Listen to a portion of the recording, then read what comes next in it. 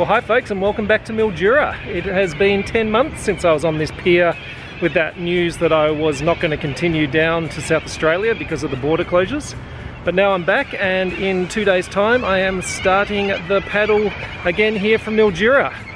And I think I've got 300 k's to do down to Renmark, which is the first sort of stop and the first uh, proper video episode will come out. And then it's in total about 880 k's down to the Murray Mouth, which should take me about four or five weeks.